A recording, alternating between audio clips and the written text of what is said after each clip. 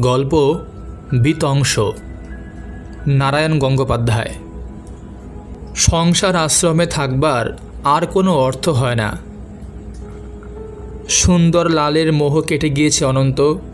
আজ যে তোমার বন্ধু সামান্য অর্থের জন্য কাল সে তোমার গলা টিপে ধরতে পারে।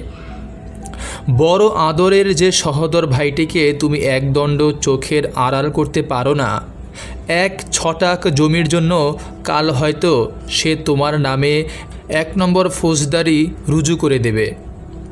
যে রূপবতী স্ত্রীর পায়ে যথাসর্বস্ব পণ করে তুমি কাপড়ে গহনায় নৈবেদ্য সাজিয়ে দিচ্ছ, একদিন ভোরবেলা হয়তো দেখবে গায়ের ছোট্ট তেওয়ারির সঙ্গে সে রাতারাতি হাওয়া হয়ে মিলিয়ে গিয়েছে।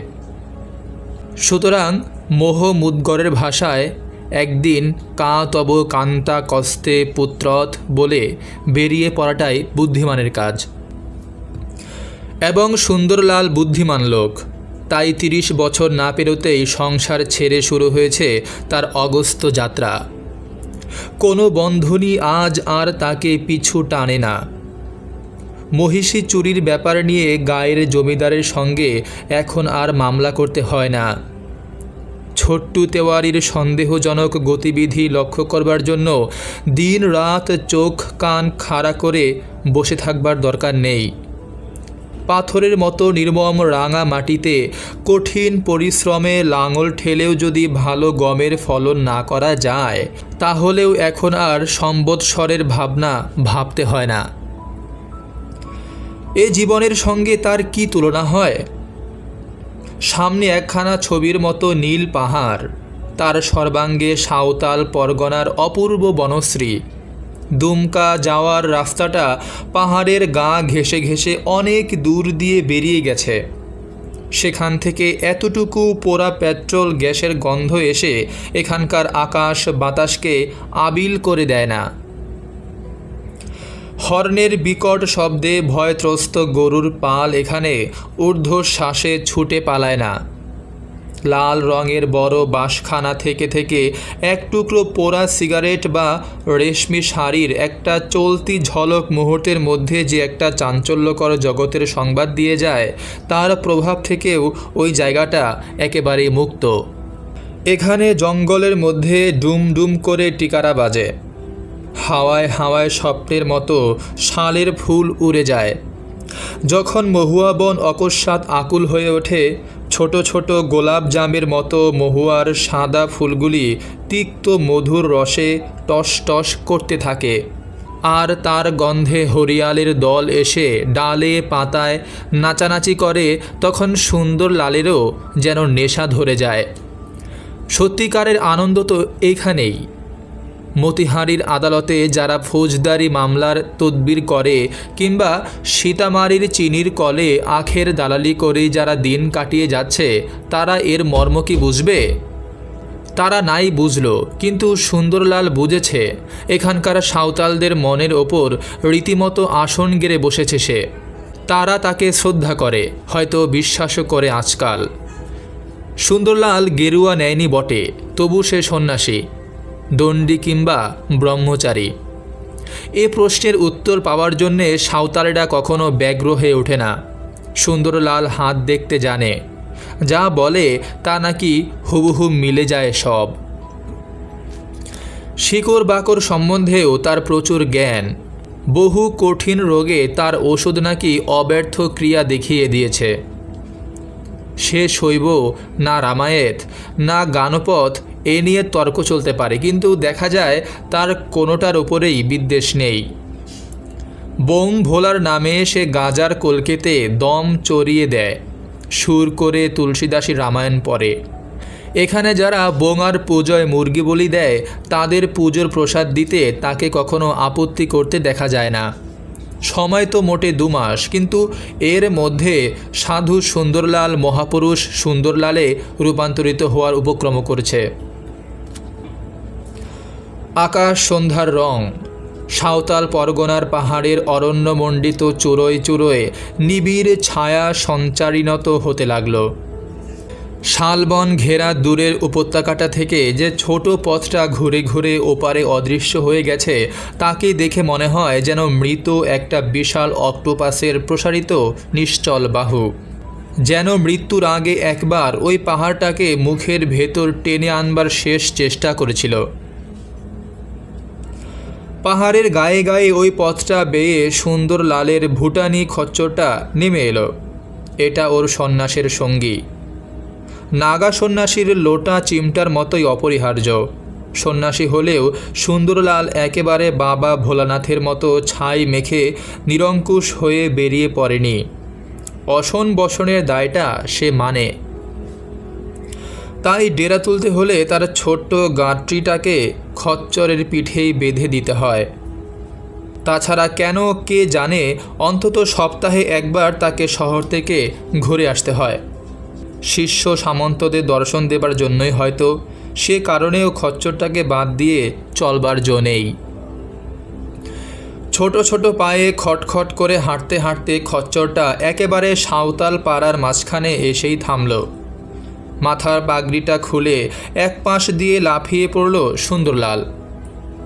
কাঁচা চামড়ার তৈরি পুরনো নাগরা জুতোটার কাঁটা লোহাগুলোতে একটা কর্কশ শব্দ বেজে উঠল। আর সেই শব্দটাকে ছাপিয়ে ময়লা চাপকানটার লম্বা পকেট ঝনঝন করে সারা দিলে কয়েকটি ধাতু মুদ্রা। বহুদূর থেকে আসতে হয়েছে। খচ্চরটারও পরিশ্রম হয়েছে খুব। ঘাড়ির ওপরকার ছোট ছোট খাঁড়া লোমগুলোর তলাটা ঘামে ভিজে গেছে। মুখের পাশে পাশে ফেনার আভাস, দড়ির লাগামটা ধরে তাকে ধীরে ধীরে হাঁটিয়ে নিয়ে চলল সুন্দরলাল। কোথা থেকে এলে বাবা ঠাকুর? প্রশ্ন শুনে সুন্দরলাল মুখ তুলে তাকালো, সামনে ঝরু সাঁওতাল। গ্রামের লোকে মোরল বলেই মান্য করে তাকে। পরনে বস্ত্রের বেশি বাহুল্য নেই, শুধু ছোট একটি ফালি নেংটির মতো করে পরা। মাথার ঝাঁকড়া চুলগুলোকে ঘিরে আর এক টুকরো কাপড়, তার একপাশে গোটা তিনেক পালক গোজা। হাতে বাঁশের ছিলা দেওয়া কুচকুচে কালো প্রকাণ্ড একটা ধনুক, আর সেই সঙ্গে গোটা কয়েক বাটুল। কে? মোরল? কি শিকার পেলি রে? কিছু নয়, বাবা ঠাকুর। মহুয়া বনে গিয়েছিলুম হরিয়াল মারতে। কিন্তু বরাত খারাপ। তুমি কোথা থেকে এলে? আমি? প্রশান্ত হাসিতে সমুজ্জ্বল হয়ে উঠল সুন্দর লালের মুখ। এই হাসিটাকে আধ্যাত্মিক মনে করলে দোষ হয় না। সাধনার পথে সে কতখানি এগিয়ে গেছে, এ হাসি দেখে তার কিছুটা অনুমান করা চলে। আমি? আমি গিয়েছিলুম ওপারের ওই গায়ে। ওখানে একজনকে ভূতে ধরেছিল কি না এসে বড্ড কান্নাকাটি করছিল। তাই একবার ঝেড়ে দিয়ে আসতে হলো। প্রগাঢ় শ্রদ্ধায় ঝরু একবার সর্বাঙ্গ নিরীক্ষণ করলে সুন্দরলালের। সত্যি কথা, সন্ন্যাসের কোনো লক্ষণ নেই সুন্দরলালের শরীরে। চুলটি দিব্যি করে আঁচড়ানো চাপকানের পকেট থেকে পিতলের ডিবে বের করে তা থেকে মস্ত একটা খিলিপান মুখে পুরে দিলে। জর্দার চমৎকার গন্ধটা দস্তুর মতো লোভনীয়। চলার সঙ্গে সঙ্গে পকেটের টাকাগুলো ঝনঝন করে বেজে উঠছে। তবু সুন্দরলাল যে সাধু মহান্ত, তাতে সন্দেহ করবার হেতু কি? মুগ্ধ বিস্ময়ে ঝোড়ো বললে, ভূত ছাড়ল? ছাড়বে না? চালাকি নাকি? এ কি যেসে মন্ত্র? হিমালয়ের চূড়োয় পাঁচশো বছর ধরে ধ্যান করেছেন নাঙ্গা বাবা। ইয়া লম্বা সাদা দাড়ি, লুটিয়ে পড়েছে একেবারে পা পর্যন্ত। আর সে কি চেহারা? দাঁড়ালে তাল গাছের মাথায় গিয়ে ঠেকে। সেবার আমি নেপালে পশুপতিনাথের মন্দিরে ধ্যান করেছি বসে। মাঝরাত্রির, ঘুটঘুট করছে অন্ধকার। হঠাৎ যেন পূর্ণিমার চাঁদের আলো ছড়িয়ে পড়ল চারিদিকে। তাকিয়ে দেখি ওই মূর্তি পেছনে দাঁড়িয়ে মিটিমিটি হাসছে। সূর্য অস্ত গেছে। পায়ের তলায় মরমর করছে শুকনো শালের পাতা। ঝরু মোরলের সারা গা ছমছম করে উঠল। তারপরে? তারপরে আর কি? সুন্দর লালের কণ্ঠে গর্বের আভাস লাগল। নাঙ্গা বাবা বললেন, যা বেটা, তোর হয়ে গেছে। আজ থেকে সিদ্ধি লাভ করলি তুই। ভূত পিরেত পিচাস দানো তোর ছায়া দেখলেও ছুটে পালাতে পথ পাবে না। দুপাশের বন জঙ্গলগুলি সন্ধ্যার সঙ্গে আরও ঘন করে ছায়া ছড়িয়ে দিয়েছে। সুন্দর লালের মুখ দেখা যায় না। তবু ঝরু একবার সে মুখখানাকে দেখবার চেষ্টা করলে। এমন একটা লোকের পাশে পাশে হেঁটে চলেছে, ভাবতেও সে রোমাঞ্চিত হয়ে উঠল। বনের পথটা পেরোতেই সামনে গ্রাম দেখা দিল। আকাশের এক কোণে শুক্লা ত্রয়োদশীর চাঁদ। এতক্ষণ কোথায় আত্মগোপন করেছিল কে জানে? জঙ্গলের আড়ালটা কেটে যেতেই কাকর বিছানো পথটার উপর তার আলো ঝিলমিল করে উঠল। সাঁওতাল পাড়ায় মাদলের শব্দ। মহুয়ার গন্ধের সঙ্গে ওই শব্দটার চমৎকার একটা ছন্দগত ঐক্য আছে বোধ হয় ঝরু সবিনয়ে বললে একবার নাচ দেখতে যাবে না বাবা ঠাকুর? নাচ? আচ্ছা চল। দুদিকে মাটির দেওয়াল গাঁথা ছোট ছোট নিচু বাড়ি। মাঝখানে একটুখানি ফাঁকা জায়গায় বসেছে নাচের আসর। কোষ্টি পাথরের তৈরি কালো চেহারার দুজন পুরুষ দুলে দুলে মাদলে ঘা দিচ্ছে। আর সেই মাদলের তালে ঝুঁকে ঝুঁকে কয়েকটি মেয়ে নৃত্য করছে। পরস্পরের বাহুতে তারা আবদ্ধ। মুখে অস্ফুট গানের উচ্ছ্বাস। সে গানের ভাষা বোঝবার জো নেই। কিন্তু তার ধ্বনিটা একটা বিচিত্র গুঞ্জনের মতো বাজছে। সুন্দরলালকে আসতে দেখে মাদল আর নাচ দুই থেমে গেল। মেয়েদের কালো চোখে দেখা দিল কৌতুকের উজ্জ্বল আভা। পুরুষদের কণ্ঠে উঠল ভক্তিমুগ্ধ কলরব। কেউ কেউ উঠে এসে সাষ্টাঙ্গে প্রণাম করলে, কেউ বা আবার কোথা থেকে কাঠের একটা চোপাই টেনে নিয়ে এলো। যথোচিত মর্যাদা আর গাম্ভীর্য নিয়ে চোপাইটাতে আসীন হলো সুন্দরলাল। পুরুষেরা ঘিরে বসল তার চারপাশে। নাকের রূপোর আংটির ভেতর আঙুল দিয়ে মেয়েরা তাকিয়ে রইল নির্বোধ দৃষ্টিতে। সুন্দরলাল গম্ভীর হয়ে বললে, নাচ থামালি কেন? চলুক না। ঝরু মোরলের কণ্ঠস্বর ব্যগ্র হয়ে উঠল। হাঁ হাঁ, নাচ চলুক, ভালো করে নাচ দেখিয়ে দে বাবা ঠাকুরকে। আবার মাদলে ঘা পড়ল। শালবনের ওপর দিয়ে চাঁদ তখন অনেকখানি উঠে এসেছে। মেয়েদের উজ্জ্বল চোখগুলিতে সুঠাম সম্পূর্ণ দেহশ্রীর ওপর দিয়ে জ্যোৎস্না গড়িয়ে পড়তে লাগল তরল লাবণ্যের মতো। সংসার বিরক্ত সুন্দরলাল নিজের অজ্ঞাতেই খানিকটা সংশক্ত হয়ে উঠল হয়তো।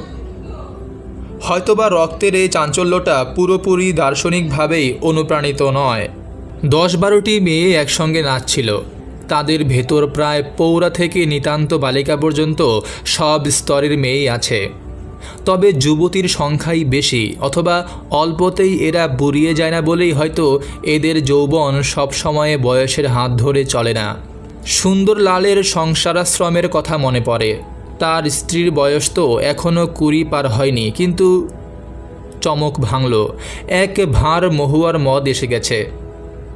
ঝরু বলল, পেশাদ করে দাও বাবা ঠাকুর। সুন্দরলাল আপত্তি করলে না। সন্ন্যাসের শেষ স্তরে উঠে সে নির্বেদ লাভ করেছে বলা চলে।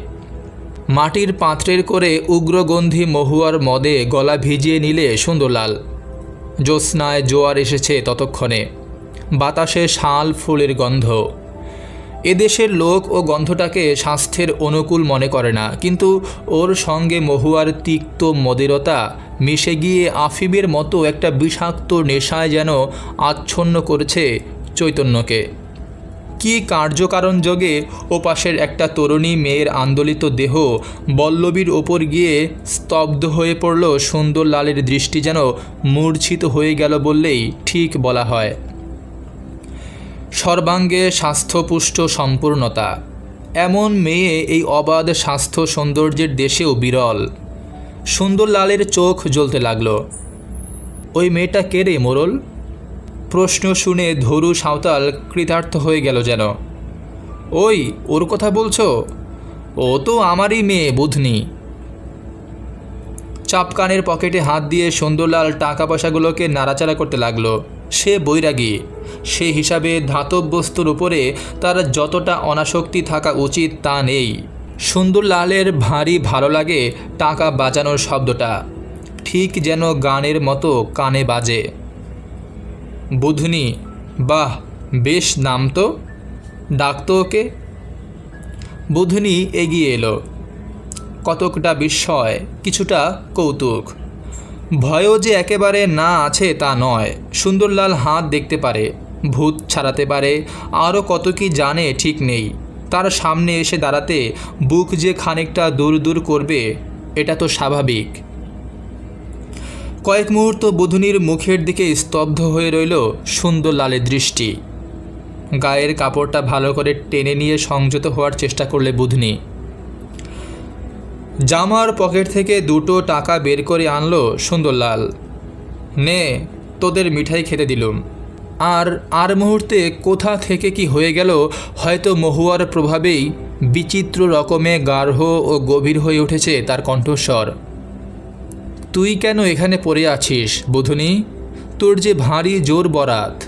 নাঙ্গা বাবার কথা যদি সত্যি হয়, তাহলে শহরে গিয়ে যে তোর কপাল ফিরে যাবে, এ তো আমি আমার চোখের সামনেই দেখতে পাচ্ছি।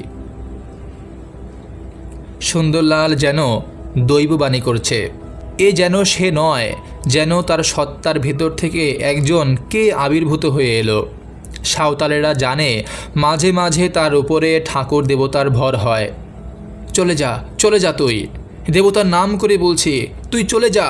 শাড়ি চুরি তেল, যা চা, সব পাবি। ভয়ে, বিস্ময়ে সর্দারের চোখ দুটো যেন কোটর থেকে বিস্ফারিত হয়ে বেরিয়ে আসবার উপক্রম করছে। দেবতার নামে যা বলবে, অক্ষরে অক্ষরে ফলে যাবে সব। দেবতার একটা কুদৃষ্টিতে ঝাঁকে ঝাঁকে জ্যান্ত মানুষ মরে নিঃশেষ হয়ে যেতে পারে। গ্রামের পর গ্রাম পুরে ছাড়খাড় হয়ে যেতে পারে। ভীত চঞ্চল সাঁওতালেরা চারপাশে এসে ভিড় করে দাঁড়াল। এই সুযোগে নিজেদের ভাগ্যটাকে একবার যাচাই করে নিলে হয়। শহর, শাড়ি চুরি তেল, একটা অদ্ভুত স্বপ্নলোক। বুধনির চিন্তা আকস্মিকভাবে যেন খেই হারিয়ে ফেলেছে। সুন্দর লালের ওপর এখন পুরোপুরি ঠাকুরের আবির্ভাব। বুড়ো জ্যাঠা টুডুকে সে বাতলে দিচ্ছে হাঁপানির ঔষধ।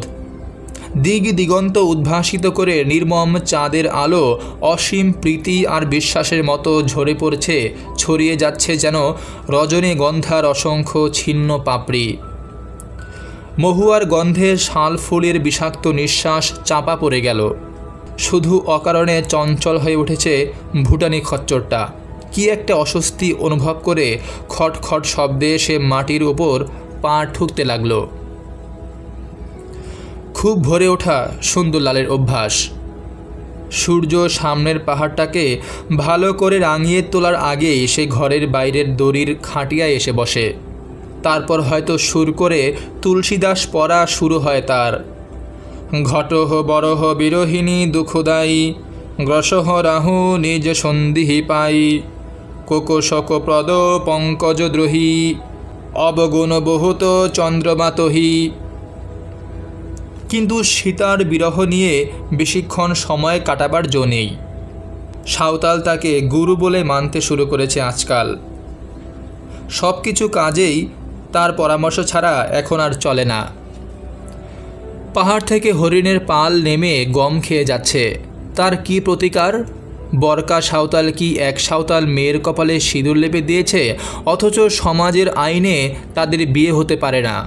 এর কি ব্যবস্থা করা যেতে পারে? অমুকের পায়ের ঘা আজই তিন মাস ধরে সারছে না। কেউ কি তার কোনো অনিষ্ট করল? এমন অনেক প্রশ্নের মীমাংসই করতে হয় সুন্দরলালকে।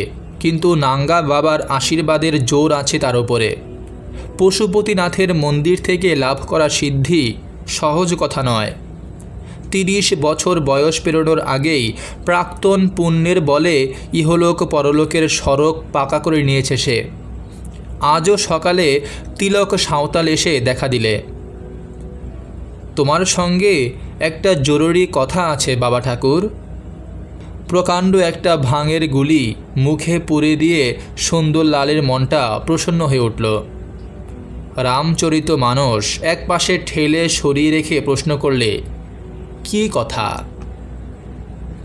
তিলক সাঁওতাল গলার আওয়াজ নিচু করে আনল, তুমি বান মারতে জানো? বান একটা বিচিত্র হাসিতে সুন্দর লালের চোখ মুখ সমুজ্জ্বল হয়ে উঠল। আমি বান মারতে জানি নে। আমি জানি নে তো কে জানে, শুনি।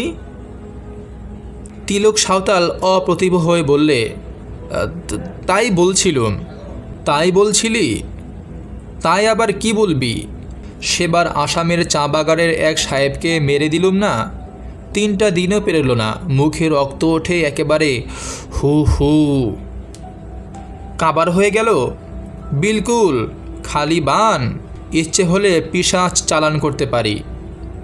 তিলক রোমাঞ্চিত হয়ে উঠল, বান মারা কি ভয়ানক? তুমি জানোও না মাটিতে রেখা দিয়ে তোমার মূর্তি আঁকা হয়ে গেল। আর সেই মূর্তির বুকে মেরে দেওয়া হলো মন্ত্রপুত তীর। নিশ্চিন্ত মনে সারাদিন খেতে কাজ করে সন্ধ্যাবেলায় তুমি বাড়ি ফিরছ? হঠাৎ অসহ্য ব্যথা উঠল তোমার বুকে। তারপর কাশির সঙ্গে সঙ্গে তোমার ফুসফুস ছিঁড়ে টুকরো টুকরো হয়ে বেরিয়ে আসতে লাগল। সাতটা দিনের ভেতরেই তুমি পুরোপুরি নিকাশ হয়ে গেলে। আর পিসাচ যে পিসাচ সিদ্ধ, তার অসাধ্য কি আছে? এই সাঁওতাল পরগনার পাহাড়ে পাহাড়ে কত অশরীরী প্রেতাত্মা ছায়ার মতো ঘুরে বেড়ায়, কে বলতে পারে? সন্ধ্যার কালো আবরণের তলায় যখন শালের বনগুলো ভয়ঙ্কর হয়ে ওঠে, তখন তাদের বড় বড় খসখসে পাতার মর্মরে সেই প্রেতাত্মারা নিঃশ্বাস ফেলে যায়। সে নিঃশ্বাস যার গায়ে লাগে। গোড়া কাটা লতার মতো শুকোতে শুকোতে একদিন শেষ আয়ুর বিন্দুটি অবধি তার মিলিয়ে যায় বাষ্প হয়ে। যেদিন রাত্রে পাহাড়ের মাথায় মাথায় ঝড় ওঠে, মহুয়া গাছগুলো উপড়ে পড়ে, রাত চড়া হরিণগুলো অবধি প্রাণের ভয়ে গমের খেতে নেমে আসে না, সে রাত্রিতে তারা উৎসব করে। সে সময় যদি কেউ একবার ভুল করে ঘর থেকে বেরিয়ে আসে, তাহলে পরের দিন তার হাড় মাংসের একটি টুকরোও কোথাও খুঁজে পাওয়া যায় না। এই সমস্ত প্রেতাত্মা, এই সমস্ত ভয়ঙ্কর পিসাচেরা সব সুন্দর লালের হাত ধরা। কাকে মারতে হবে? তিলক চমকে উঠল। সুন্দরলাল হাসছে। হাসিটা মনোরম নয়, কি একটা অজ্ঞাত কারণে সমস্ত মনটাকে সংকুচিত, সন্ত্রস্ত করে আনে।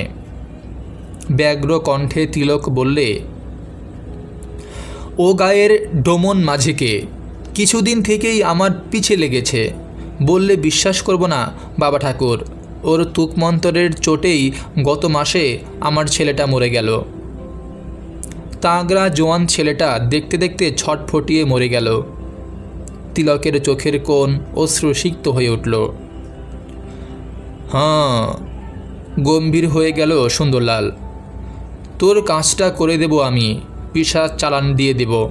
পরশু শনিবার কয়েকটা ফুল আর সিঁদুর নিয়ে আসবি। আমি তিনটে নরমুণ্ড জোগাড় করে রাখব।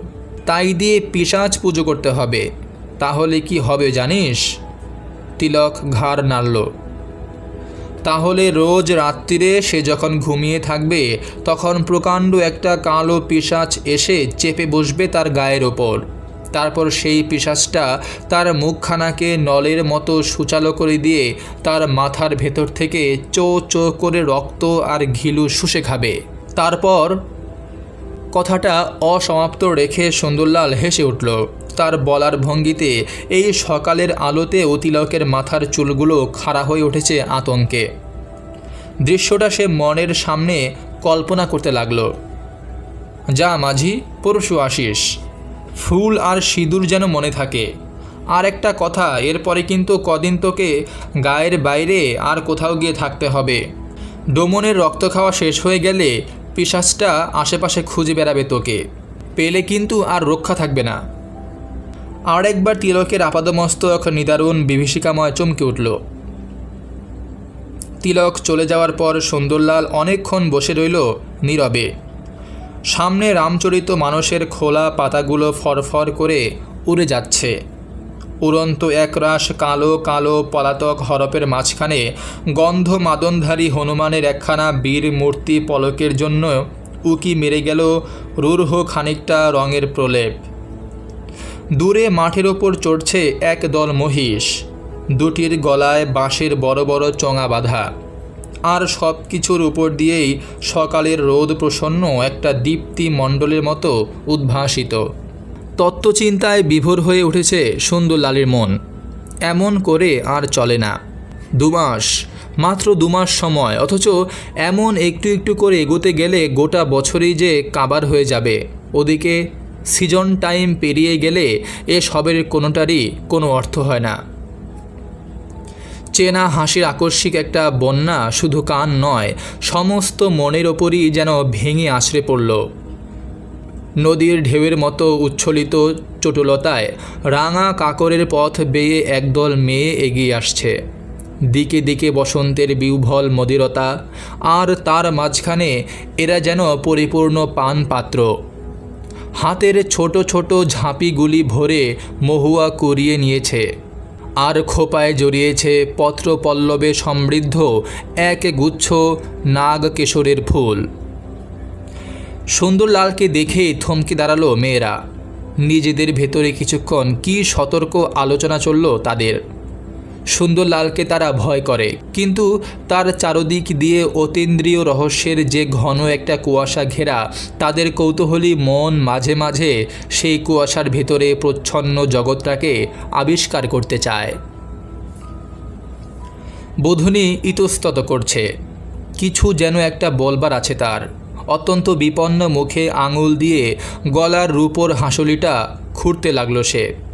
একটি মেয়ে আলগাভাবে তাকে ধাক্কা দিলে যেন তাদের সকলের কাছেই বুধুনি, কি একটা কৌতুক এবং কৌতূহলের বস্তু হয়ে উঠেছে? সুন্দর লালের চোখে মুখে অতি প্রকট তীক্ষ্ণতা। কিরে বুধনি? কিন্তু বুধুনিকে কিছু আর বলতে হলো না। বাঁধ ভেঙে উচ্ছ্বসিত কলতরঙ্গে যেন বেরিয়ে এলো জোয়ারের জল। হাসির দোলায় মেয়েদের পরিপূর্ণ অপরূপ তনুষষ্ঠব ছন্দময় হয়ে উঠল সুন্দর লালের মনে হলো। কামনায় যেন শানিত খানিকটা কালো আগুন দেহ প্রদীপগুলিতে উঠল শিখায়িত হয়ে। এত হাসছিস যে? সুন্দরলালের চোখ দুটো নির্লজ্জভাবে ঘুরতে লাগল বোধনির সর্বাঙ্গে বিশ্লেষণ করে। এই দৃষ্টি হয়তো শরীরের কেবল বাইরেরটাকে দেখছে না। হয়তো তীক্ষ্ণ একটা সন্ধানী আলো ফেলে বোধনির মনটাকেও দেখে ফিরছে। এ যোগীর দৃষ্টি ভোগীর নয়। বুধুনির সাহসের যেটুকু অবশিষ্ট ছিল সুন্দরলালের দ্বিতীয় প্রশ্নে তাও যেন মিলিয়ে গেল নিঃশেষ হয়ে। মেয়েদের হাসি দ্বিগুণ হয়ে উঠল। পরক্ষণেই রূপের প্রখর বিদ্যুৎ ছড়িয়ে দিয়ে তারা পথের ওপর দিয়ে এক ঝলক দক্ষিণা বাতাসের মতো বয়ে গেল। সুন্দরলাল হাঁ করে তাদের দিকে তাকিয়ে রইল। দুমাস মাত্র সময়, কিন্তু দুটি দিন মাত্র বেশি দেরি হয়ে গেলে সত্যি কি আর ক্ষতি হবে? বাগানে অনেক মেয়ে আছে, কিন্তু বুধনির জুরি নেই। সুন্দর লালের দুটি চোখে যেন গোখরা সাপ উকি মারতে লাগল। সাহেব ভালো জিনিসের কদর বোঝে, দুদিন বিড়ম্ব তার কাছে কিছুই নয়। আধ্যাত্মিক দিক দিয়ে সুন্দরলাল যে অনেকটা এগিয়ে গেছে, তাতে আর সন্দেহ কি? সন্ন্যাসী মানুষ, ঘর ছেড়ে সেই কবে বেরিয়ে পড়েছে? বিষয় বাসনার কোনো প্রলোভনই নেই সংসারে, পরের উপকার ছাড়া আর কিছুই সে জানে না। ঝরু সাঁওতাল কথা বিশ্বাস করে, বুধনির সন্দেহমাত্র নেই। সুন্দরলালের মুখের দিকে তাকাতেও পা কেঁপে ওঠে তিলকের। কিন্তু পশুপতিনাথের মন্দিরে পাওয়া সেই সিদ্ধমন্ত্র তার বলে কি না সম্ভব হয়? সুন্দরলাল টাকা তৈরি করতে পারে নিশ্চয়। কারও দরকার পড়লে অযাচিতভাবেই সে কাঁচা করকরে টাকা বের করে দেয়। নতুন টাকা, ঝকঝকে টাকা। হয়তো অনেকটা এই কারণে সাঁওতালেরা এত বেশি তার কাছে মাথা বিকিয়ে বসে আছে। ইচ্ছে করলে সে নাকি নুড়ি পাথরগুলোকে অবধি তাল তাল সোনা বানিয়ে দিতে পারে। জিজ্ঞেস করলে কোনো জবাব দেয় না, রহস্যময়ভাবে হাসে। আরও কয়েকদিন পরে, বিনি সাঁওতালনির কি একটা মানসিক, শালবনের মাঝখানে সিঁদুর মাখানো ওই যে বড় কালো পাথরটা, ওখানে শিং বোঙার পুজো, উপচার মুরগি আর মহুয়ার মদ। খচ্চরে চড়ে সুন্দরলাল এসে উপস্থিত হলো। তখনই বলি শেষ হয়ে গেছে। পাথরটার চারপাশে ছিন্ন কণ্ঠ মুরগির রক্ত। শাল ফুলের গন্ধে বাতাসটা কেমন ভারী যেন নিঃশ্বাস ফেলতেও কষ্ট হয়। মাদল বাজছে তার সঙ্গে চলছে নাচ, কিন্তু জ্যোৎস্না রাতের মহুয়া মদির অসংযত নাচের দোলা এ নয়। সে নাচে রক্তে রক্তে একটা তরল নেশা ঘনিয়ে আসে, আর এ নাচে যেন মনের ওপর একটা অস্বস্তির আমেজ দেয়। পাহাড়ের কোল জোরে বহুদূর পর্যন্ত চলে গেলে নিবিড় নিবন্ধ শালের বন বড় বড় পাতা স্তরে স্তরে সূর্যকে আড়াল করে সৃষ্টি করেছে প্রায় অন্ধকার একটা নিভৃত লোক। এই নিভৃত লোকের মাঝখানে অশরীরী শিং, বোঙা যে কোনো মুহূর্তেই হয়তো দলবল নিয়ে শরীরই হয়ে উঠতে পারে। সুন্দরলাল আসতেই মদের পাত্র এলো এগিয়ে। মহুয়ার সুরায় আকণ্ঠ পরিপূর্ণ করে নিলে সুন্দরলাল শিংবোঙার কালো পাথরটার গায়ে রক্ত আর সিঁদুর লেপা। হঠাৎ দেখলে মনে হয় পাথরটা যেন কার একখানা প্রসারিত মুখ সত্যি সত্যি যেন রক্ত খেয়েছে, যেন আরও রক্ত খাবার জন্যে তাকিয়ে আছে তৃষ্ণার্ত চোখে। সুন্দরলাল হঠাৎ দাঁড়িয়ে উঠল। একবার স্থির মত্ত চোখ মেলে তাকালো সকলের দিকে। তারপর টলতে টলতে এগিয়ে গিয়ে সোজা পাথরটার সম্মুখে আছড়ে পড়ল। পায়ে লোহার নালতোলা, কাঁচা চামড়ার জুতো আর কুর্তার পকেটের টাকাগুলোয় মিলে উঠল একটা চকিত যুগধ্বনি। কয়েক মুহূর্ত পরেই উঠে দাঁড়াল সে। জামায় খানিকটা ধুলোর দাগ, একটু আগেই পান খেয়েছিল। মুখের দুপাশে খানিকটা লাল রঙের গ্যাজলা বেরিয়ে রয়েছে বিভৎসভাবে। সকলের ওপর দিয়ে একবার তীক্ষ্ণ দৃষ্টি বুলিয়ে নিয়ে হঠাৎ সে তাণ্ডব তালে নাচতে শুরু করে দিল। সোৎসাহে মাদল বেজে উঠল, ডুম ডুম করে উল্লাস জানালো নাগারা টিকারা। সুন্দর লালের ওপর ভর হয়েছে শিং বোঙার ভর। সাঁওতালদের চেতনার ওপর ছড়িয়ে পড়ল ভয় আর আনন্দের একটা বিমিশ্র অনুভূতি। হেলে দুলে সুন্দরলাল নাচতে লাগল। মুরগির খানিকটা রক্ত সে হাতে মুখে মেখে নিয়েছে। এই মুহূর্তে তাকে বৈশাচিক বলে মনে হতে পারে। পায়ের কাঁচা চামড়ার জুতোটা দূরে ছিটকে পড়েছে, পকেটের টাকাগুলো সমান তালে বাজছে ঝনঝন করে। আকস্মিকভাবে সুন্দরলাল থেমে দাঁড়াল। অপ্রকৃতিস্থ চোখ দুটো যেন রক্তে ভিজিয়ে আনা, তার কণ্ঠে সেই দৈববাণীর সুর। ঝরু সাঁওতাল, শুনছিস? আমি সিং বোঙা। তোদের ডাকছি। শুনছিস? আরও জোরে জোরে টিকারা বাঁচতে লাগল। আকাশ চিরে উঠল মাদলের শব্দে। সাঁওতালেরা সাষ্টাঙ্গে প্রণিপাত করলে, ঝরু সাঁওতাল কাঁপা গলায় বললে, কি হুকুম বাবা? আমার কথা শোন। তোদের গায়ে মরক লাগবে। হায়জার মরক। একটা প্রাণীও বাঁচবে না। মরে সব শেষ হয়ে যাবে। করম দেবতার রাগ পড়েছে। তোদের কাউকে রাখবে না, কাউকেই নয়। চমকে বাদলের শব্দ থেমে গেল। হাত থেকে নাগারা টিকারা খসে পড়ল। শাল ফুলের গন্ধে বাতাসের গতি যেন স্তব্ধ হয়ে এসেছে। সাঁওতালেরা হাহাকার করে উঠল। মেয়েদের মুখ থেকে বেরিয়ে এলো ভয়াতুর আর্তনাদ। একসঙ্গে কলরব উঠল। কি উপায় হবে আমাদের, বাবা ঠাকুর? সুন্দর লালের কণ্ঠে দৈববাণীর সুর আরও ভয়ঙ্কর হয়ে উঠেছে। ঝড় ওঠার আগে থমথমে কালো মেঘে আবৃত ঈশান দিগন্তের মতো তার মুখ। উপায় আছে? নাঙ্গা বাবার শিষ্য এই সাধু সুন্দরলালকে আঁকড়ে ধর। ও তোদের পথ দেখিয়ে নিয়ে যাবে। ওর সঙ্গে তোরা উত্তরে চলে যা। সেখানে ঘর পাবি, জমি পাবি, এর চেয়ে অনেক সুখে থাকবি। আপত্তির ক্ষীণ প্রতিবাদ তুলে ঝোড়ো মোড়ল বললে, কিন্তু বাবা, ঘরবাড়ি সব ফেলে। ঘরবাড়ি ঘরবাড়ি বিকৃত ভ্রুকুটিতে সুন্দর লালের রক্তমাখা কুটিল মুখখানা প্রেতের মতো দেখাতে লাগল।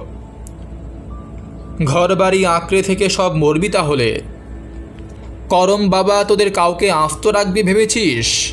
হাড়, মাংস চিবিয়ে খাবে মনে রাখিস। কুকুর, বেড়ালের মতো মরবি সব। সুন্দর লালের চোখ দুটো রক্তে ভিজিয়ে আনা। সেই দুটো চোখের ভেতর সাঁওতালেরা যেন ভাবি মহামারীর প্রতিচ্ছবি দেখতে পেল। বনবাস ছেড়ে আবার সংসারের দিকে ফিরতে হলো সুন্দরলালকে। উপায় নেই।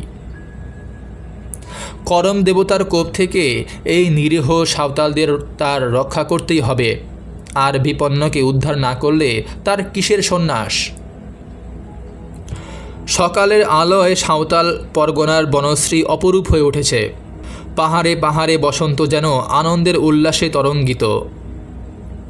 ছোট ছোট গোলাপ জামের মতো সাদা মহুয়ার ফুল তিক্ত মধুর রসে পরিপূর্ণ হয়ে টুপ টুপ করে খসে পড়ছে। ডালে ডালে সবুজের ছিট দেওয়া হরিয়ালের নাচ ঘুঘুর একটানা করুণ ডাক। গলার সামনে গাঁটরি বাঁধা সুন্দর লালের ভুটিয়া খচ্চরটা টুকটুক শব্দে খুদে খুদে পা ফেলে এগিয়ে চলেছে। পেছনে মাদল বাজছে একটা অস্ফুট গানের গুঞ্জন। সাঁওতাল পুরুষেরা ঘর ছাড়ার দক্ষ ভোলবার জন্যেই কেউ হয়তো বাঁশিতে সুর দিয়েছে। মেয়েদের মুখে কোনো ক্ষোভের ইঙ্গিত নেই। পথ চলবার আনন্দে তারা লীলায়িত। মাদলের ধ্বনির সঙ্গে তাদের কালো চুলে সাদা ফুলের মঞ্জরিগুলি দুলে উঠছে। বুধনির চোখে স্বপ্ন, শহর, চুরি, তেল আর শাড়ি। দেবতার হুকুম পেয়েছে সে। আসামের চা বাগানে কুলি জোগানো কী যে অসম্ভব ব্যাপার, সেটা সাহেব জানে। কালা জলে দলে দলে লোক মরছে। আশপাশ থেকে একটা কুলি আনবারও জো নেই। বুধুনিকে বাদ দিয়ে আর কাঠি সুন্দরলাল হিসেব করতে লাগল। বুধুনিকে বাদ দিলে বিয়াল্লিশ জন কুলিতে তার কমিশন পাওয়া হয় কত? সাঁওতাল পরগনার বিমুক্ত প্রকৃতিকে পরিপ্লাবিত করে দিয়েছে বসন্তের অকৃপণ আনন্দধারা। সকালের হাওয়া লেগে পাহাড়ি পথের কৃষ্ণচূড়ার একরাশ রাঙা পাপড়ি ঝুরঝুর করে ঝরে পড়ল।